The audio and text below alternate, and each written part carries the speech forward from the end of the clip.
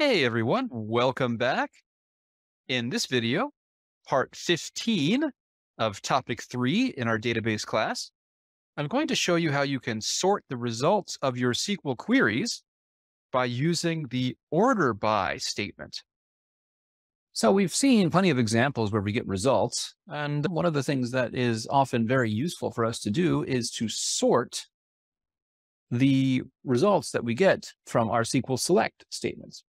And the SQL provides us with the capability to do that by means of the order by statement. We can use order by to sort our results. And of course, when we sort things, we follow sorting rules. And those sorting rules are language specific.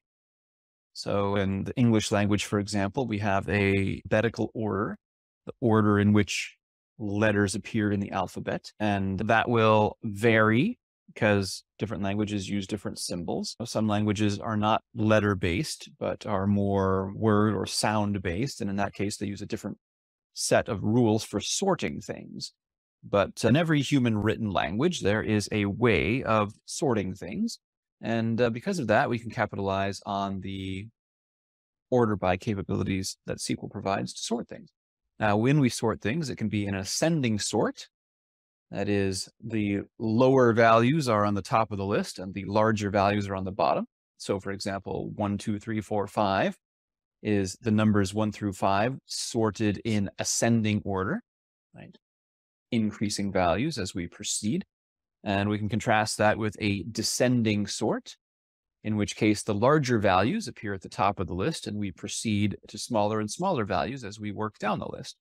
So the same five numbers in descending order would be sorted as five, four, three, two, one.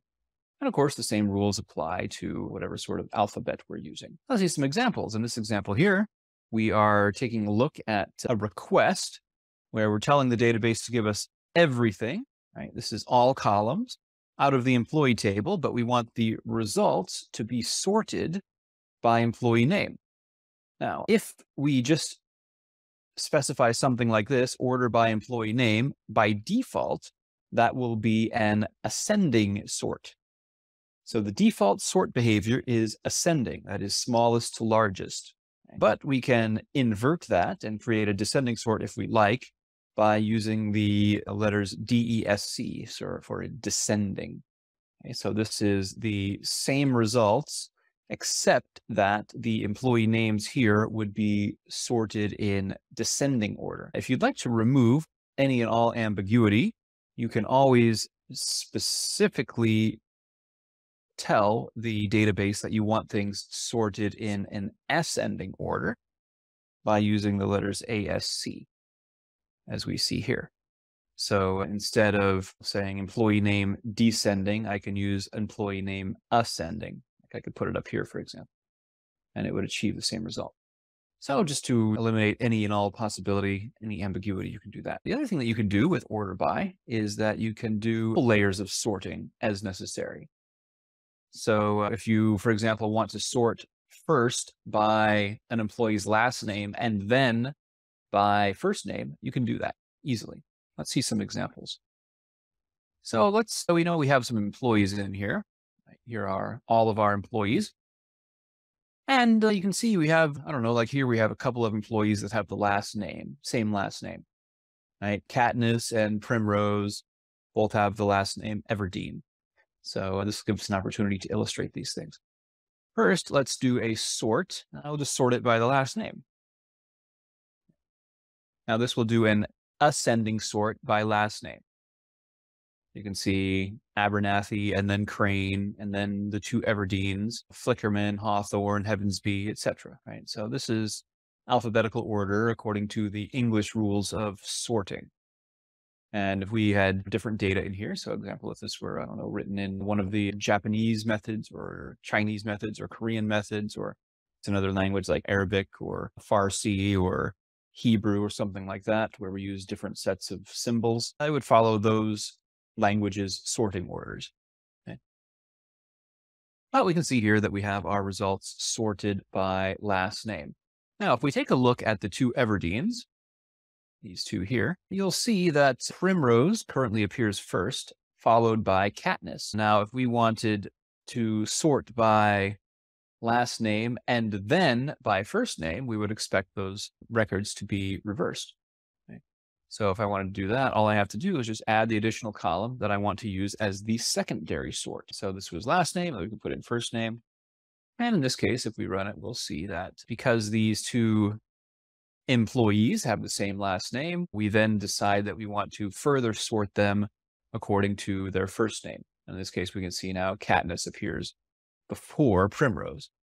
But we have complete control over this, right? If I want to sort first, oh, let me just first illustrate that if I append ASC to these, we will get exactly the same results because by default, if I do not specify a sort order, the database will assume that we want an ascending sort.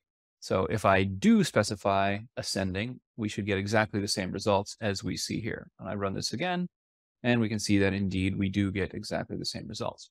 So now let's play around with this a little bit. So let's sort by last name, ascending, and then we'll do first name descending. So here's a descending sort. And if I execute this, we'll see that now Primrose is back on top of Katniss. Okay, because we're now sorting first by our last names in ascending order and then by first names in descending order. And of course, I could play around with these things. So I could do, I don't know, sort by last name in descending order and then first name. And then we could see our alphabetically largest last names appear at the top of the list, and we work our way down to the alphabetically smallest ones. So Abernathy, which starts with the letter A, is at the bottom of the list since this is now a descending sort. And we can sort on anything. It doesn't matter if it's a text-based attribute like a first name or a last name, or we can sort by numbers. Right? So maybe I want to order them by the employee ID. And in that case, you'll see we get our 1, 2, 3, 4, 5, 6, 7, 8, 9, 10. Or we could reverse that. Right? Get it in reverse order something like that. Another thing that we can do is we could sort by dates. Right? So here's an interesting question for you. If I sort by hire date, what do we expect to appear at the top of the list? The oldest records or the newest ones? Interesting question. Well, when we sort by dates, the oldest records appear at the top of the list. You can see here, I can find that this person, Katniss, was my first employee. She was hired on the first of January 2018. Okay? And we can see this goes up to my most recently hired employee, which was on the 15th of November 2021. Okay? And of course, we can reverse sort on dates as well. So in this case, our most recently hired employee appears at the top, and the employee that we hired first, that is the farthest into the past, appears at the bottom of the list. Just a little trick here that I'll show you, and then we'll proceed. If I wanted to say, just get my most recently hired employee, one of the interesting tricks that we can do is we can, if we run this, we'll see that we get our list of employees. And uh, we know that our most recently, our, our, our first employee, the employee that we hired first in our company appears at the top of the list because we are sorting by hire date in ascending order.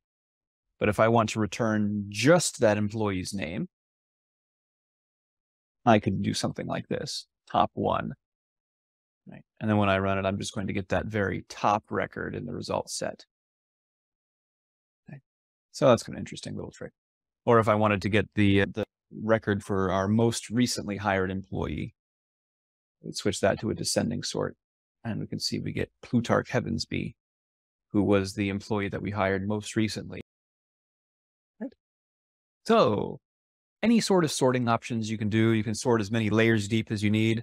I illustrated two with last name and first name, but you can sort three layers deep or four layers deep.